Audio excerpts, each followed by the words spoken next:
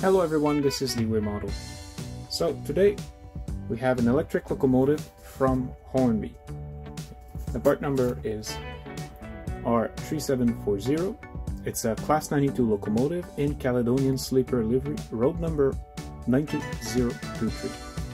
So let's take a look at the box first. So right here we have a nice uh, picture of what is inside. If I look on top, like all the Hornby Railway boxes, you're going to find a top-down view of the locomotive. And in the back, we have a bit of history about the prototype. And also we have the information that in real life, this is classified as having a route availability of 7, which requires a quite wide uh, uh, radius to be able to turn on the tracks.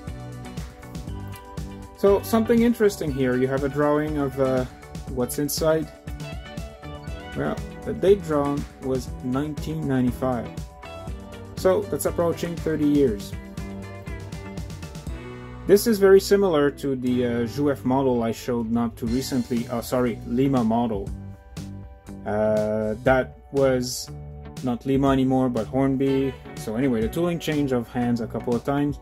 So this is a modern interpretation of an old tooling. And it's going to be interesting to see uh, what modification they made. And uh, also, uh, it was a pretty cheap model. I think I purchased this for something like 65 pounds about a year ago. So let me open it up. And let's take a look at the documentation that came with it.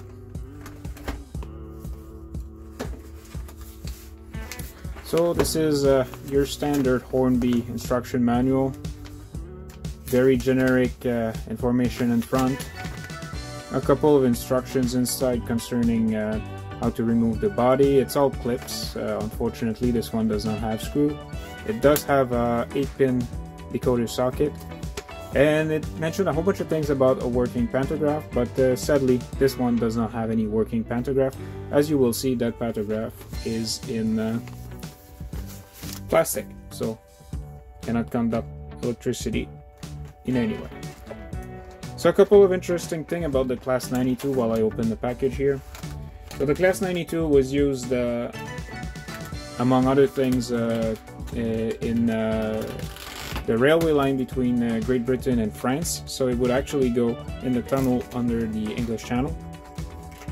Uh, this particular model was first operated uh, by uh, the SNCF, the Société Nationale des Chemins de Fer Français, which is a French state railroad up uh, mid 2010s when it was uh, repainted uh, in this and operated by a private company for sleeper cars. So, so let's take a first quick look at the model. So here's one end.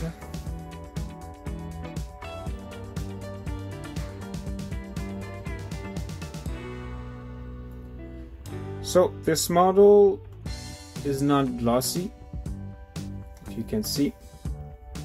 However, I do think that overall the livery on this is very, very good. Uh, everything is crisp. There is no paint splash. There is no um, color bleed or anything. Look at this this uh, stripe, this orange stripe on top there. It's completely straight, very very sharp. The grills are all molded in. They're not uh, like they're not etched or anything. So, uh, but if you, you, have to take a real close look to see that uh, they're not separately fitted things because you know the the overall livery has been very very very well applied. So, yes, this model does have lights. The lights that it has, though, uh, they don't have any frame, they don't look particularly realistic, but it does have lights, which is more than uh, what can be said for a lot of more expensive models. So let's take a look at the roof. As this is an electric locomotive, there is a lot of details there. First of all, there is those what appears to be separately fitted horns. And then you do have pantograph the pantograph you can raise them however they are completely made out of plastic so they won't be working anytime soon and also they're a bit fiddly to put back down and tend to uh, raise up again. Other than that, you have a whole bunch of isolator, electric uh, cables, uh, vents, and a whole bunch of other things. That's a lot of parts. Uh, sure looks a bit chunky by today's standard, but I guess for when this was uh, originally made, it's still pretty good. It does have what appears to be separately fitted wipers at the end here. We already talked about the lights. That handrail here is just molded. And if you look at the buffer beam itself, it does have quite a few molded details, although all the uh, buffers are not sprung or anything. One interesting thing about the Class 92, if you look at what those white skis or ski look like right here, that you have on both sides of each bogie, here, here, here, here, it could also pick up electricity from uh, a third rail. And I think that this is a very, uh, a very nice uh, details that they've put.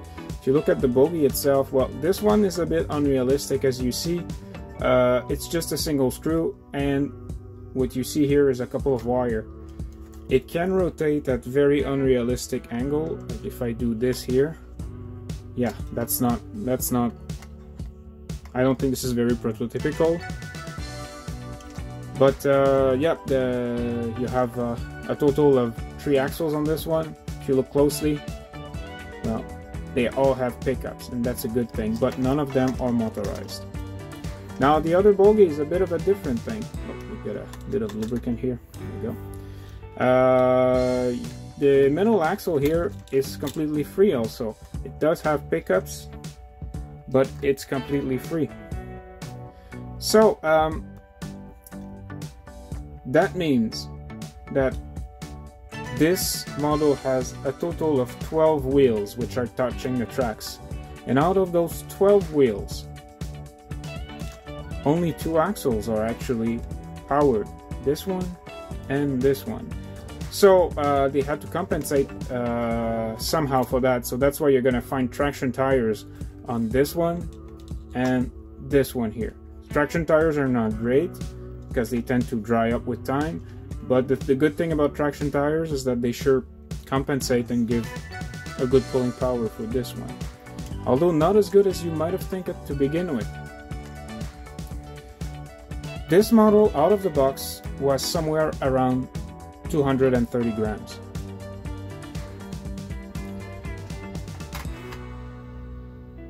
So it was derailing, it wasn't really it wasn't really reliable in that sense. So I've actually added a bit of weight. So right now it does have 368 grams. Yeah. So I actually added a couple of uh, a couple of weight inside of this to give it a bit more traction. And you know, since I did that, just by adding a little bit of weight, this model is much more reliable and uh, it runs much better also. So, what else? You've pretty much seen the whole outside of it. If we take a look inside the cab, there is some details there. Although I struggle to see if there is any painting there or if that's just part of the molding. So all the cabs, both ends, they have full mold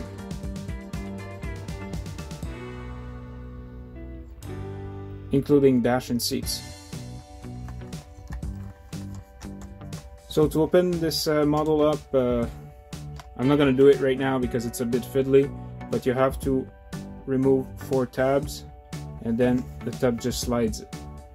It was pretty easy to DCC fit, it was mainly just the thing about removing the plug that it came with and plugging the new decoder there and Bob's your uncle.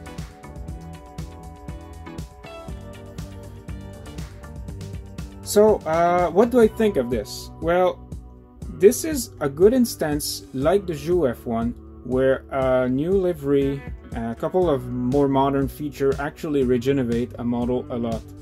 Um, I know some people are going to disagree and that's completely fine. Uh, I do like uh, more simple models, they tend to break less. and uh, also they tend to be cheaper. Now, if this was uh, uh, at a modern price, uh, you know, like something like uh, $300 or something like this, this would not be acceptable and I would not be interested by it. But, you know, due to the fact that this one costed me something like 60 to 70 pounds, somewhere in there, uh, I think this is quite fine. I really do like the fact that it came with a block of ice packaging like this one. I'm gonna start to pack it back up. Uh, because usually cheaper model tends to come in one of the nasty styrofoam packages. So that, that was a nice touch.